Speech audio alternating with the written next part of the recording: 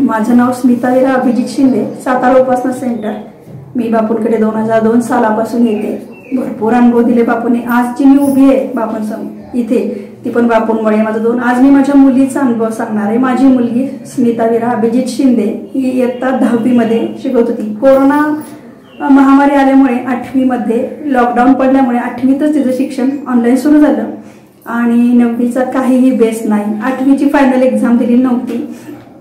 आणि दहावी ऑनलाईन होणार आहे का ऑफलाईन होणार आहे ही सुद्धा जरा शंकाच होती. जवळपास दहावीचे पण नऊ महिने गेले तरी एक्झाम ही ऑनलाईन होईल असेच चाललं होतं. त्यामुळे ती संभ्रमात होतं. बापून ती एकच होते का माझ्या परीक्षेच्या वेळेस तुम्ही यायचं आहे. अभ्यास मी तुमच्यासमोर एक महिना खूप छान अभ्यास करणार आहे आणि तुम्ही या. आणि तिचा विश्वास ती दर स्वस्तिक्षेमध्ये गुरुवार शनिवार बापूंना एकच सांगत होती बापू तुम्ही या. मला तुमच्या समोरच अभ्यास करायचा आहे. आणि तिच्या म्हणण्याप्रमाणे तिची चार एप्रिलला ह्याची एक्झाम होती प्रॅक्टिकल एक्झाम होती. आणि बापू आदल्या दिवशीच आले. बरोबर रोटेशन आलं असं आलं की बापूंचा टर्न आमच्याकडे आला. आणि तिला खूप आनंद झाला आणि त्याच्यानंतर तिचा अभ्यासाला जी गती मिळाली. आणि प्रिलियमला बाकी सगळं ऑनलाईन होतं. प्रिलियम झाली. आणि प्रिलियम बापूंसमोर दिली आणि एटी नाईन पर्सेंट तिला त्यावेळेला प्रिलियममध्ये पडले. आणि फायनान्शियल कंडिशन वडिलांचा स्कूलचा धंदा असल्यामुळे स्कूलच्या गाड्या आमच्या बंद होत्या आणि त्यामुळे फायनान्शियल इन्कम पूर्ण बंद होता आमचा. मग अशातच तिला नववीचा बेस नाही आणि दहावीला क्लास लावायचे आमची फायनान्शियल कंडिशन नव्हती. ती वडिलांना म्हणाली पप्पा असं पण करूया का? मी क्लास लावत नाही माझ्या मम्मीजवळ अभ्यास करते. तर पप्पा म्हणाले जमेल का तुला? कारण की तुला आठवीचं नाही नववीचं काहीच नाहीये. असू दे पप्पा मी प्रयत्न करते मम्मी शिकवेल मला. मग ती माझ्याजवळ थोडं थोडं करत बसत राहिली. आणि बापूंना म्हणत होती की बापू काहीही होते ऑफलाईन एक्झामच घ्या. मला ऑनलाईन द्यायचीच नाहीये. त्यामध्ये काही कळत नाही की कोणाचं किती कपॅसिटी आहे. सगळ्यांनाच बापू नाईन्टीच्या पुढे मार्क्स पडतात. आणि मग ते ह्याच्या इंटरनल बेसवरचे मार्क्स मला नकोत बापू. मला जे काय पडायचे ते मला ऑफलाईन पडू देत. काही होऊ देत माझी ऑफलाईन एक्झाम घ्या. प्रत्येक उपासने ते एकच सांगत होती.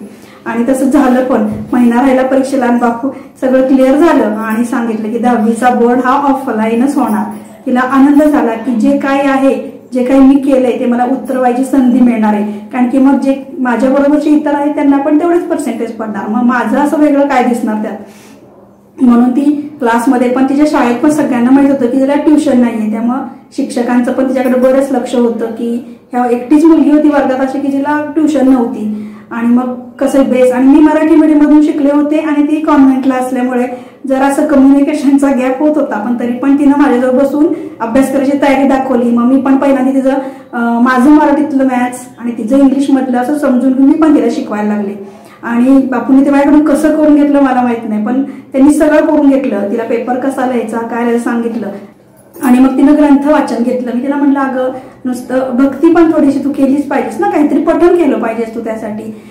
तर मग ती म्हणली मी आईने ग्रंथ वाचायला घेते मग तिनं वाचायला उपनिषद वाचायला घेतलं. का ती म्हणजे मम्मी मला ते खूप आवडतं. मग म्हटलं ठीक आहे तू ते वाच. मग ती रोज एक अध्याय वाचायला लागली. आणि बरोबर शेवटच्या पेपर दृष्टीचं त्या सगळं पूर्ण करून घेतलं बापूंनी. आणि चार तारखेला अगदी प्रॅक्टिकल एक्झामपासून तिचे वडील तिच्यापाशी आजोबा ती आजोबा म्हणते आजोबा माझे आले ताई आता मला सगळं टेन्शन गेलं मी सगळं त्यांच्यावर भार टाकलाय. आणि गेली पेपरला प्रत्येक पेपरला इतक्या आनंदाने यायची जाताना पाया पडून जायची. आणि बापूंना म्हणायची बापू सगळं सांभाळून घ्या सगळं व्यवस्थित चालेल सगळे पेपर छान गेले. मॅथ्सचा पेपर आला. तर म्हटली मग मला हॉट्स क्वेश्चन येत नाही शेवटचे. मग ते जर गेले तर मला कवरिंग नाही होणार मार्कांचं. म्हणलं काय होईल ते होईल तुझा पेपरला आणि तसंच झालं. हॉर्स इतके सोपे पडले होते की तिला हॉर्स सुद्धा जमले सोडवायला. आणि त्यामुळे तिचा आणखीन विश्वास मी बापू नाही सांगायची बापू एवढं छोटस बाळ तुमच्याशी आत्ताशी धडपडत धडपडत भक्ती करताय आणि त्याचा विश्वास तुम्ही राखा फक्त. आणि मग ती मागतं बापूला म्हणजे बापू माझ्या आई वडिलांना अभिमान वाटेल एवढे मार्क मला पाडायचे. एकच माझं ध्येय बापू मला माझ्यासाठी काही नकोय त्यांना अभिमान वाटला पाहिजे.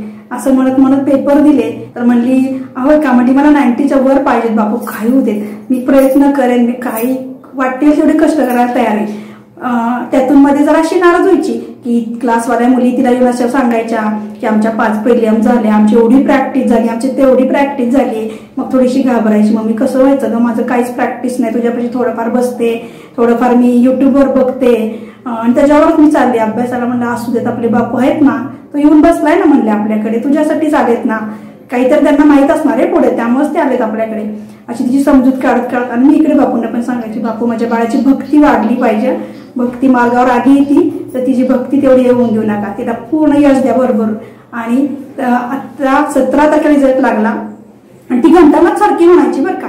घंटानाथ तिला प्रत्येक खूप आवडतो. दर सतरा तारखेला तर म्हणते आणि दर मार्गशीर्षात मध्ये जर तिचं कुठलं पुष्प पुष्प असेल तर ते घंटानाथ पण ती मला खूप घंटानाथ आवडतो. आणि रिझल्ट पण तिचा लागला सतरा तारखेला. घंटानाथ म्हणजे बघ घंटाला देखील आज म्हणायचं. तुझा रिझल्ट चांगला असता नसता तर आणि तिला नाईन्टी टू पर्सेंट मार्क्स पडले. इव्हन तिच्याबरोबर जे ट्युशन्स वाले होते ती सुद्धा एटी पर्सेंटच्या आत आले. मग तिला नाईन्टी टू पर्सेंट पडले. ती बापू खरंच तुम्ही ग्रेट आहात. तुम्ही माझे सगळे लाड पुरवले. तुम्ही माझे एक आजोबा जसे लाड पुरवतात तसे लाड पुरवले. मला क्लास नाही मला काही नाही. तुम्ही खूप मोठी मात केली ह्या सगळ्या संकटांवर आणि मला खूप सहकार्य केलं. त्याबद्दल मी बापूंचे अंबज्ञ नाथ संविधा आभार मानते.